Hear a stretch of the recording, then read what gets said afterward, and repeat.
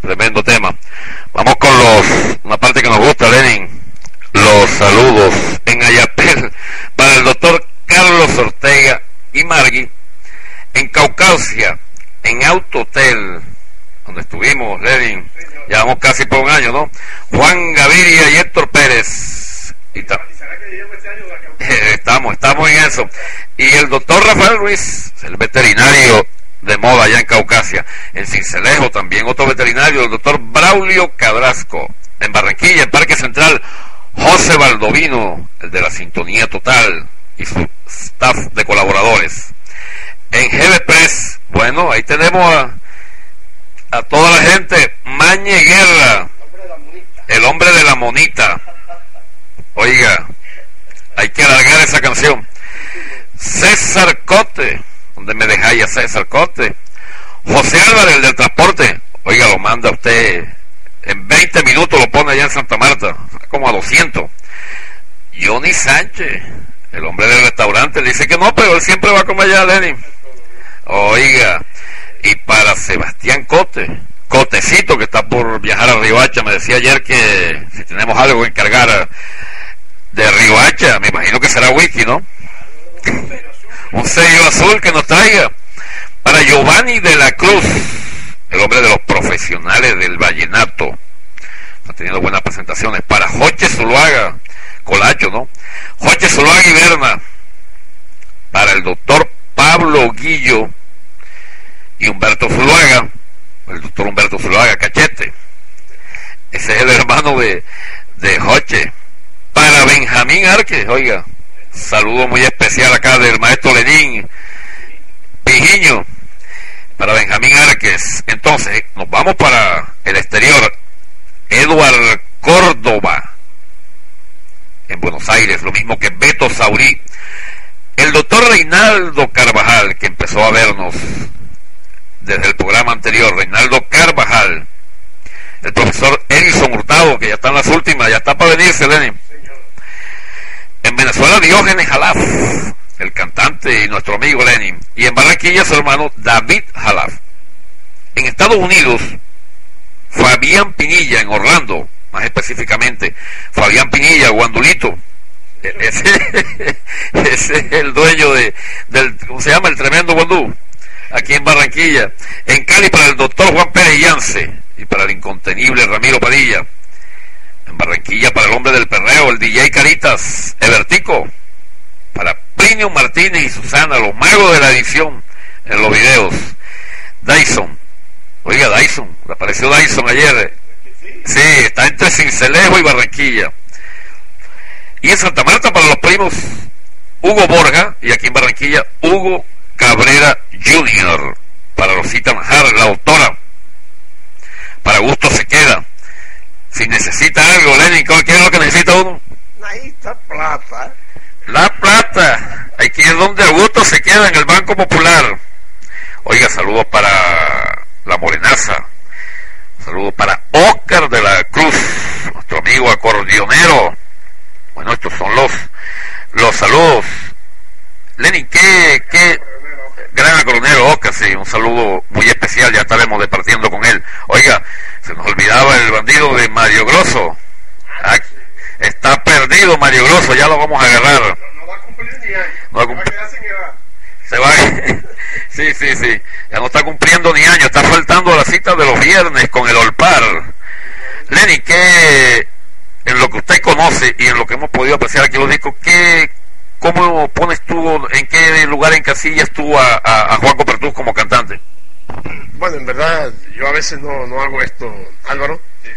Eh, no, me gusta ni siquiera establecer parangones, mm, esa, marcar esas diferencias, pero Juan Pertú para mí es un buen intérprete, indudablemente es gran intérprete, tiene su estilo, no se ha salido de allí, eh, es honesto con lo que hace porque trabaja a conciencia sus temas, sabe escoger sus canciones también, que es lo que mm, cualquier cantante que se quiera dejar dirigir o producir bien debe hacer, escoger los temas es lo más importante para un artista. Y a fe que Juaco Pertus, con Horacio Escorcia, que le hemos conocido pues eh, lo, los éxitos más rutilantes, porque no quiere decir que él no haya pegado con alteración, pero a veces una, una buena promoción ayuda mucho a un artista. Y hay como Joaco quizás otros que no han tenido eh, el camino de la promoción, que se han quedado allí. Gracias a Dios, Joaco Pertus como que entendió esto ¿no? y buscó un gran promotor. Creo que el Moya también está trabajando con él, ¿no? El Moya Rangel está trabajando con él. Eh, eso es importantísimo porque el Moya Rangel es un tipo que sabe, sabe promocionar. Él, Alvarito Ortiz, Álvaro trabajó muchos años conmigo cuando dirigíamos a Disco Phillies. Álvaro era nuestro representante de Disco Phillies aquí en la costa norte de Colombia. Esa gente sabe mucho, sabe promocionar, sabe meterse.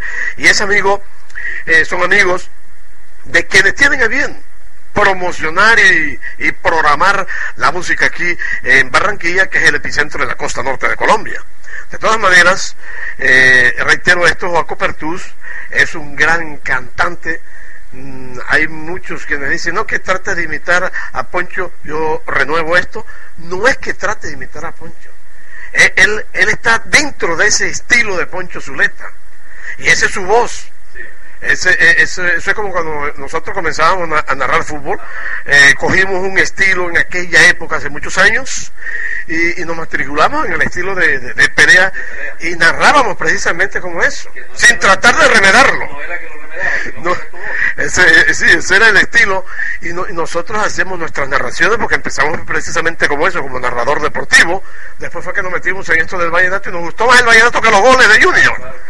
De tal manera pues que eh, repito, Joaco, le auguramos éxito, que sigue por ese camino. Y, alguien me decía, ¿por qué no le das una canción a Joaco Pertús? Y yo sí tengo temas como para Joaco Pertús. Si Rangel viene por acá, el Moña Rangel viene, vamos a hablar con el Moña Rangel. Álvaro, tenga la seguridad que nosotros vamos a, hablar con el Moña y si es de dar una canción, se la damos. Nosotros, eh, la gente nos dice a veces, bueno, ¿qué te pasó? Ya dejaste de componer. No, tenemos más de 70, como 80 canciones. 80 canciones, 82 por ahí. Eh, allí eh, tenemos un sinnúmero de canciones que la hicimos eh, pensando en aquella época, en Rafael Orozco, se nos quedaron allí. Pero Álvaro, yo doy una canción cuando tengo la oportunidad de meterme al, al estudio de grabación para supervisar cómo va a quedar mi canción porque tengo muchos años de estar mm, eh, de productor, de director de, discográfico o director artístico, y, ya me han dañado más de dos canciones. Pero hace muchos años me, dañaron canciones que ya ustedes conocen, por ejemplo, eh, La Pared para Amanecer, en cierta oportunidad, Alejo Durán, el mismo Alejo Durán que fue el que la grabó por primera vez. Tuvimos que cambiar el, título porque me le puso, eh, le quitó la parte sustanciosa de la canción, del que se duerma lo mutilamos. Y la parte de permanecer, el que se duerma lo mutilamos. A partir de ahí, yo comenzaba en esos momentos como compositor. Hacíamos el programa en Emisor Atlántico y comenzaba en esos momentos como compositor y, me sentí, sentí que mi canción me la, me la mutilaron. Después hubo otras canciones también que me la fueron mutilando. Jorge Oñate en dos oportunidades le di dos canciones y en dos oportunidades la cogió y la trasquiló. No, no la parranda, sino dos canciones distintísimas. A la parranda de Pamané también, pues, eh, tuvo avión hacer unos cambios. ¿no? Ellos yo sé que lo hacen de buena fe, indudablemente lo hacen de muy buena fe, pero a veces, a veces van y dañan la canción cuando tratan de hacer eso.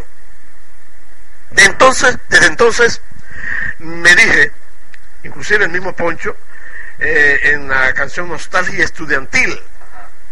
La canción Nostalgia Estudiantil está mutilada, no es como, eh, la letra no es como aparece en, en esa larga duración donde Poncho interpreta eh, la nostalgia estudiantil. Y así yo dije, no, de ahora en adelante, desde aquella época, de la década del 70, me voy a meter cuantas veces me vayan a grabar una canción, me voy a meter en el estudio de grabación. Así no sea la casa disquera para la cual yo trabajo. Pero mi canción la voy a producir y a dirigir yo, que tenemos la facultad para eso. De ahí entonces, porque la gente me pregunta, ¿por qué no, no, no, te ganan? Porque es difícil, ¿no? También ir a, a meterse uno de pato en una grabación